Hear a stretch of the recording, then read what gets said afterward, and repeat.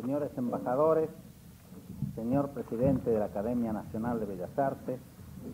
señores académicos, ahora colegas, señoras señores. Al agradecer al cuerpo académico la distinción de incorporarme a esta institución, deseo en primer lugar considerar este alto reconocimiento a mi labor artística con la plena responsabilidad que me corresponde asumir. Entiendo así y ante todo esa colaboración como una actitud indivisible en la relación arte y vida, artista y comunidad, como una natural extensión del quehacer creativo en el oficio al diálogo con el ambiente y contorno social para asumir la conducta responsable que lo identifica con su verdad. Porque si la obra, la creación en sí misma, en su autonomía esencial, es un mensaje más eficaz, como lo ha dicho alguna vez Picasso, el artista debe conocer esos caminos y sus medios para convencer a los otros de la verdad de su ficción. La actitud, entonces, como voluntad y vocación hacia el aporte cultural constituye en la consecuencia y convergencia de opiniones en la leal discrepancia un factor constructivo. Comprendo así toda vocación de sentir y vivir el problema de nuestra cultura, ahora en su momento de conciencia, en una etapa germinal del país, para la cual toda contribución es concurrencia activa para la floración de nuestra expresión original. Y si los problemas culturales no pueden vivir separados de las urgencias múltiples de nuestra nación tampoco pueden estar desvinculados de su destino como país progresista y moderno, donde la democracia no sea solo un nombre, sino un contenido, y donde el ser nacional se plasme en la auténtica medida de su libertad real como hombre histórico. El artista actual hace ojos y oídos a su realidad, deja el aislamiento del estudio en un contacto revitalizador con la vida, como escribiera Goethe en sus valoraciones sobre la vida y el arte, el talento se forma en la soledad, pero el carácter en la corriente del mundo. Ahora hay gente también alrededor de las torres de marfil y de las guardillas, y no han pasado 80 años desde los escritos de Van Gogh aquel gran solitario reclamando angustiosamente comprensión para sus dificultades materiales y el trascender espiritual de sus obras. Hoy se transforma la sociedad, cambia la vida y los públicos a su ritmo.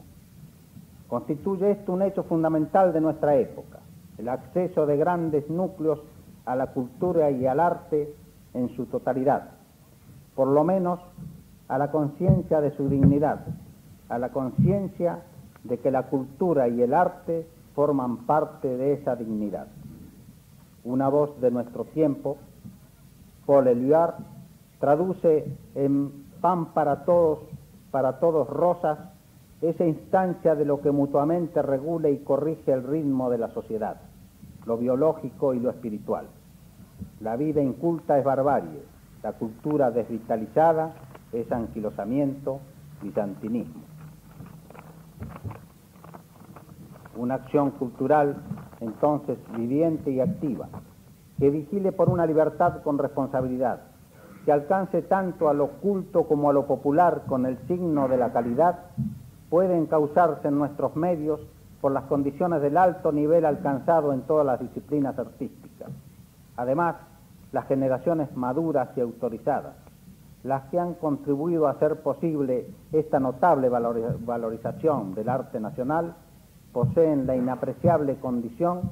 de un espíritu abierto de renovación y esto lo atestigua el gran aliento de las generaciones jóvenes en nuestro medio. Pero un sentido de orientación y de equilibrio para dilucidar los caminos de una conciencia real de lo nuevo, de lo moderno, se hace hoy urgencia para evitar la violenta interferencia del desarraigo, del escepticismo en nuestro destino, para evitar un éxodo del país como espejismo salvador, para fortalecernos ante presiones deformantes. De allí la importancia, en esta hora, de la acción de las instituciones culturales, en la medida de sus jurisdicciones, al interceder ante los poderes públicos, al acercar opiniones y consejos a la iniciativa privada, a las fundaciones e institutos de promoción, interpretando el reclamo de las entidades artísticas, la aspiración de grandes núcleos a un desarrollo de la modernidad coherente por ese camino de amplitud y grandeza que ha hecho posible la característica de equilibrada valoración de nuestra mejor herencia, del respeto a los precursores y a los maestros, a la par de la asimilación crítica y exigente de los aportes más activos de la plástica contemporánea.